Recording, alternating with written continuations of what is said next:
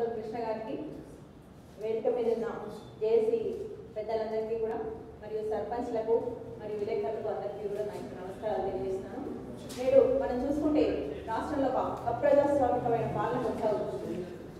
ఒక అనాలోచితమైన నిర్ణయాలతో మన పాలన అంతా పూర్తిగా అస్తవ్యస్తంగా గాడి తప్పి జరుగుతుంది. దీన్ని కప్పించడానికి రోజుకో కొత్త పథకాన్ని మనము మన కేసీఆర్ సార్ తీసుకొస్తున్నారు. ఇది ఎంతవరకు సత్యమని అడుగుతున్నాను హామీలు ఇచ్చారు ఆ హామీలన్నీ కూడా భద్రపరిచారు సార్. అవన్నీ కప్పించడానికి ఈ రోజు ప్రజలు ఎక్కువ కాలం భద్రపడలేమనే ఉద్దేశంతో రోజులో కొత్త పథకాన్ని తెర తీసుకొచ్చి పాత పథకాలని కనుమరుగు చేసుకుంటూ ఈ విధంగా పాలన సాగిస్తూ ఒక నియంత్రణగా నేతృత్వ ధోరణితో ఈ విధంగా పాలన సాగిస్తున్నారు. ఇది ఎంతవరకు మరి ఆ కేసీఆర్కి సమంగా ఉంది అనేది కూడా తెలియజేయాల్సిన అవసరం ఉంది. కాకపోతే ఇప్పుడు కొత్తగా తెరపై తీసుకొచ్చిన అంశం ఏంటంటే జియో థర్టీ నైన్. ఇదేంటంటే రైతు సమన్వయ కమిటీ మరి ఇది ఇది ఏ విధంగా చేశారని చెప్పేసి వాళ్ళ వాళ్ళకి తెలియాలి వీళ్ళకి రైతు సమన్వయ కమిటీలు అనేది రైతాంగాన్ని పూర్తిగా విస్మరిస్తుంది అసలు ప్రభుత్వం చెప్పుకోవాలంటే ఎన్నో ఆత్మహత్యలు దాదాపు మూడేళ్ళ కాలంలో మూడు వేల ఐదు వందల మంది రైతులు ఆత్మహత్య చేసుకుంటున్నారు దాదాపు తొంభై రెండు శాతం కూడా రైతులంతా అప్పుల్లో ఉన్నారు ఎన్నో విధాలుగా రైతులంతా నష్టపోతున్నారు రైతాంగాన్ని రైతాంగుల హక్కులను కాల కాలరాస్తున్నారు మన ఒకవైపు కేంద్ర ప్రభుత్వం రైతుల రైతుల హక్కులు వ్యవసాయం ఏ విధంగా హక్కుగా ఉందో ఆదాయం అదే హక్కుగా ఉండాలనే ఎన్నో కార్యక్రమాలు చేపడుతుంటే ఇక్కడ మన రాష్ట్ర ప్రభుత్వం వారు మరి ఎందుకు ఈ విధంగా నిర్వీర్యం చేసే పనిలో ఉన్నారో రోజుకు కొత్త పథకం అమలు చేసుకుంటే ఈ విధంగా ఎందుకు వెళ్తున్నారని చెప్పేసి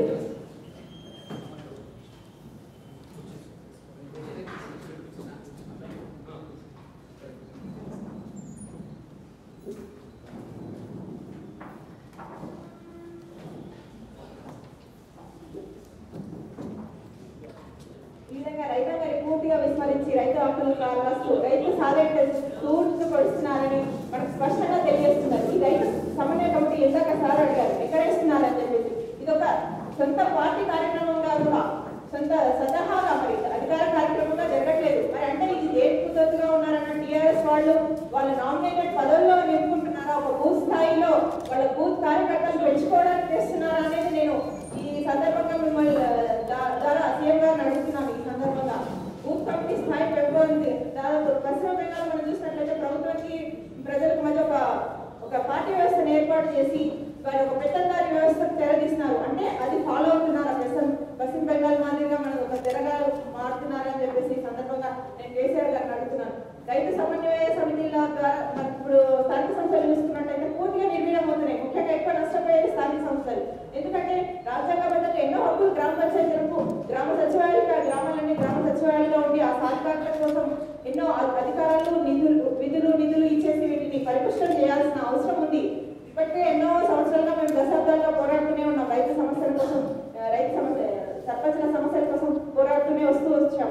కాకపోతే ఇవన్నీ కూడా పక్కన పెట్టి కొత్తగా రైతు సమన్వయ సమితి వేసి పూర్తిగా స్థానిక సంస్థలు నిర్వహణ చేస్తున్నారు. సర్పంచులు ఎంపీటీసీలు జడ్పీసీ అధికారాలను వారికి విఘ్నం కలిగిస్తూ వాళ్ళ సర్పంచ్ హక్కులకు భంగం కలిగిస్తూ ఈ రైతు సమన్వయ ఏర్పాటు చేయడం అనేది ఎంతవరకు సమంజసం అనే విధంగా నేను ఈ సందర్భంగా అడుగుతున్నాను. అదేవిధంగా మనము మన సర్పంచ్ ఇప్పుడు దాదాపు కేంద్ర ప్రభుత్వం ఇచ్చిన నిధులు తప్పితే మన రాష్ట్ర ప్రభుత్వం నుంచి ఒక్క పైసా రాయలేదు దాదాపు ఐదు వందల సీనరీస్ స్టాంపు మనం లెక్క చూసుకున్నట్టయితే దాదాపు ఐదు వందల డెబ్బై రెండు పాయింట్ యాభై నాలుగు కోట్ల రూపాయలు మనకు దాదాపు రెండు వేల ఏడు నుంచి ఎనిమిది వరకు ఆ కాలం నుంచి అంటే దశాబ్ద కాలం నుంచి కూడా అవి పెండింగ్లో ఉన్నాయి. అవి చాలా రోజుల నుంచి అవి రిలీజ్ చేయాలని చెప్పేసి మన ప్రభుత్వంతో విజ్ఞప్తులు చేస్తున్నాం కలెక్టర్లకు మెమరాండమ్స్ ఇచ్చాము ఎంతో కూడా ధర్నాలు చేసాం ఎన్నో విధాలు చేసాం అవి ఇస్తే స్థానిక సంస్థలన్నీ పరిపుష్టమయ్యి వా స్థానిక సంస్థల ఉన్న సమస్యలన్నీ వెళ్ళిపోతాయి ఇప్పుడు డబ్బులు లేక చాలా ఆర్థిక సమస్యలతో కొట్టుబిట్టాడుతున్నాయి ఈ సర్పంచ్ వ్యవస్థ అంతే మొత్తం నిర్వీర్యం చేసుకొచ్చాడు. మరి వీటిని బలోపేతం